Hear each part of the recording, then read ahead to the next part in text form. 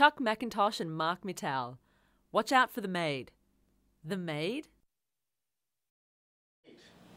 And what do people say? What our cleaning I lady? mean, they have to wait. Well, Oh, that's and they she- have to wait in line. Yeah, no, no, yeah, but but, but she comes in. Just in give here- me my drink. Just give me my drink. All I want is my drink. She- Just give me my drink. She's got to be at least 60 or whatever. She's, she's a local Ca- Camani- Caymanian.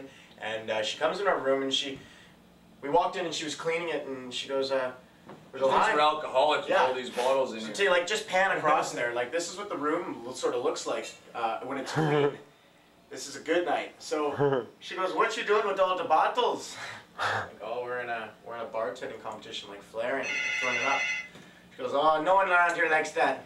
we're like, "Really? That's interesting." Excuse me. Yeah. Macintosh residents, Hello. and uh, Hey, bu- hey, buddy. she was just uh, telling us, like, she went off for like five minutes about how people Yeah, around here don't really like that. We'll meet in the Uh, lobby. in 10 because they have to wait. Yeah. uh, I guess. And uh, so she started doing impressions of what she said she used to be a, a bar server back in the day. Yeah. Back in the day. And uh, and she goes, uh, she, I mean, she's like, people will be yelling at you all the time. How do, I can't handle that. Just People- give me a drink. Just give me a Just give me drink. Just give me a drink. I swear she said it like 12 times. Yeah. And, and the first couple was like right funny, and then and then she got to six or seven. We're just kind of like, Yeah, I was just kind of is sitting back watching, and she was in her own little world. I know, like sitting there we weren't even in the room anymore. Yeah. Just like talking to the wall. Just give me a drink. Like she was like having a Vietnam She was flashback. Crazy. It was Oh. amazing. Yeah, it was pretty funny. Yeah, it was hilarious. Yeah, but overall, I mean, if that's and that's a you know a, a general perception that's changing for the positive. You know, you don't have you don't necessarily you can be good behind the bar.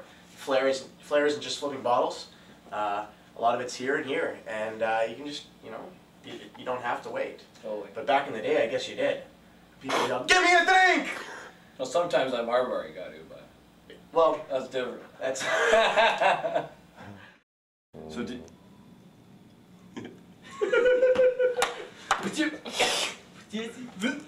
just point the camera.